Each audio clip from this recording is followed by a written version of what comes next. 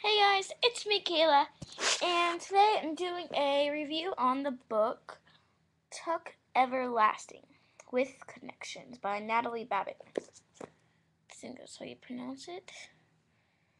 Oh wow, it's running on no battery. Oh wow, so I gotta go fast. Sorry. But, so yeah. This is the book Tuck Everlasting by Natalie Babbitt so far it's really good. I haven't finished it, but I just thought I would like read a page or two so you can like get the idea of what it is. The chapter I'm on right now is chapter five, and I like got this yesterday, so that explains that it's pretty good. Because normally I'm on page five by now on regular books because I don't like to read. So yeah, like let me read a page or two. Okay, so Never come here before. Why, it's nice, she thought with great surprise. For the wood was full of light, entirely different from the light she was used to. It was the green and amber and alive, quivering in splotches on the padded ground, fanning into sturdy stripes between the tree trunks. There were little flowers she did not recognize white and palace blue, and endless, tangled vines, and here and there a fallen log, half rotted but soft with patches of sweet green velvet moss. And there were creatures everywhere. The air fairly hummed with with their daybreak activity. Beetles and, and birds and squirrels and ants and countless other things unseen, all gentle and self absorbent, and not in the least alarming. There was even, she saw with satisfaction, the toad. It was squatting on a low stump, and she might not have noticed it, for it looked more like a mushroom than a living creature sitting there. As she came abreast of it, however, it blinked, and the movement gave it away. See, she exclaimed. I told you I'd be here first thing in the morning. The toad blinked again and nodded. Or perhaps it was only swallowing a fly. But then it nudged itself off the edge of the stump and vanished in the underbrush. It must have been watching for me, said Winnie to herself as and was very glad she had come.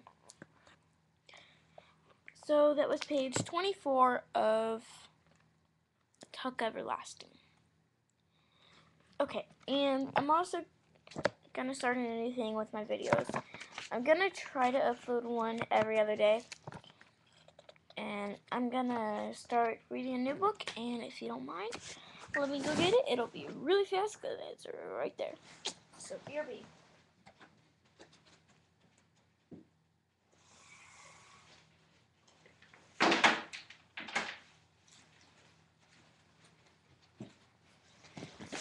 In the back. Okay now that I'm back and get my book out of my backpack, that's my backpack. Let's see if I can get you a good view with my new HD camera.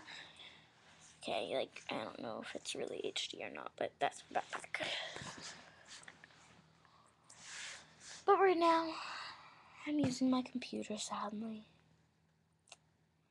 But yeah, so let me get my book, and this will instead of reading Tuck Everlasting, since I get, I have to read that in school, because I'm doing like a project on it, I'm probably going to read one of these books to you, Murder at Midnight or Whittington. Probably going to re read Whittington, because, like, if you're a little kid and you're watching this, I don't want you to get scared by this book. Because it's about murders at midnight, so yeah. But it's a really good book so far like I'm on like page what's it called? I'm on page. I'm on chapter 17, which is 145. So yeah. And I got this on Monday. I'm just kidding, I'm on page 145. I haven't read this yet. But it looks really good, and it's a Newbery, I mean, not Newbery, it's a AV book. So, yeah. So, I'll go ahead and read you the back of this if I know mine. Okay, so I'll just read you a page to get started for today. And each day I'll read like two pages, but right here it's just like a page of a map that names some places. Ooh, Ireland, I'm from Ireland. And here comes my mom. Sorry. You have to talk. So, read this. Whittington meets Lady. So it's just a short page, and I'm going to start out with this today. And then I'm going to pull up my word of the week, or day. Yeah, word of the day. And I'm going to give that to you, and you guys, then I'll tell you the definition and all that. So yeah. And I'll also have a saying, so, uh, and tell you what I think that means to me. Okay. Whittington meets Lady. She was the ugliest duck he'd ever seen. Purplish black with splotches of white on her wings. Red wart skin around the neck, a pink bill, her eyes were bright black dots. She was lopsided and lurched. As she walked from the barn to her bathing place, she bobbled her neck to balance. Her feet were orange. There was a cold wind. It smelled like snow. The cat hunched under a bush, wrapped tight with his ruff, with his ruff up. As the duck approached, the cat eased out. He was the color of old metal, broad faced with thick whiskers and dark lines that ran from his nose to his forehead. Ooh.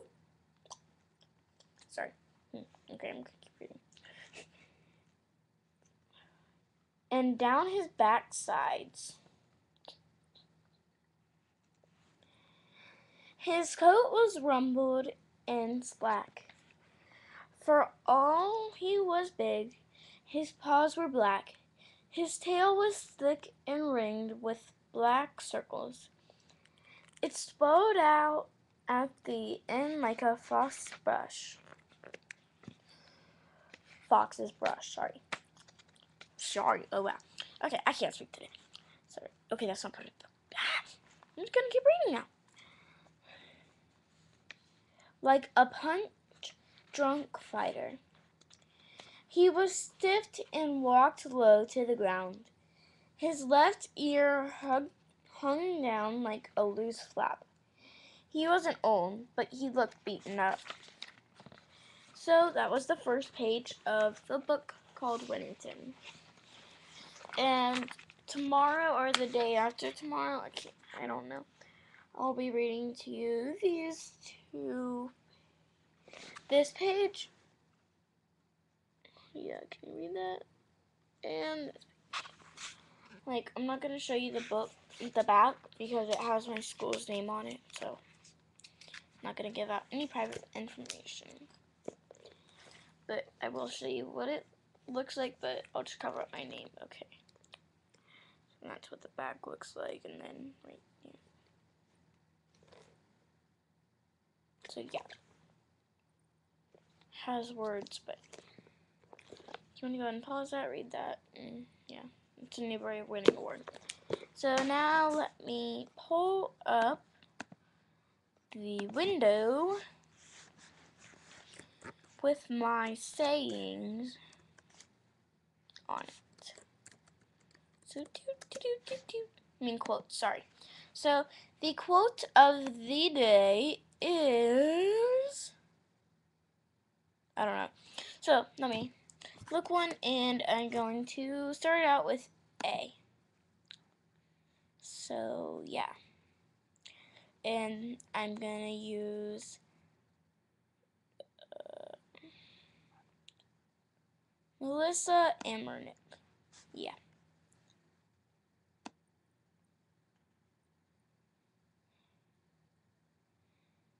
You'll have to excuse me if I cry. I've been teary eyed all week.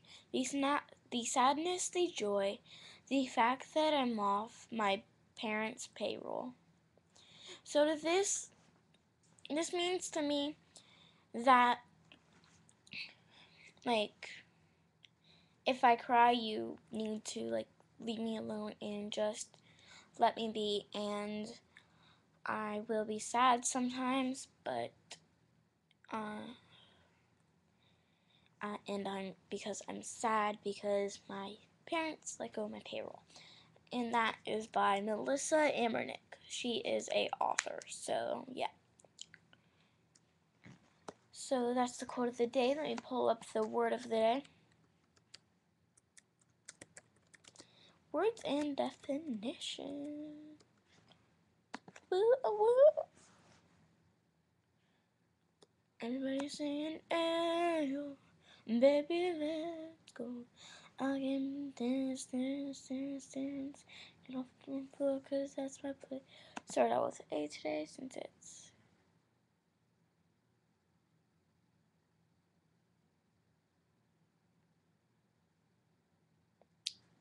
This is confusing. So let's go to dictionary or Wikipedia, whatever, but whatever. So the word of the day is going to be um what's it called? What's it called? What's it called? It's in this. Okay, so you know Neil, Armstrong. His brother's Alan Armstrong, and he wrote that book. So yeah, didn't notice that. Um, sorry this video is so long. I think I'm just gonna skip it today since this video is like really long. And so, yeah, look on my beauty channel, Kayla Beauty Baby 1. And you'll, I'm going to upload a Justice and Claire's haul video to that. So, yeah. Bye, guys. Okay, bye. Don't forget to check in to read the rest of Whittington. Ooh. Oh, yeah. Bye, guys.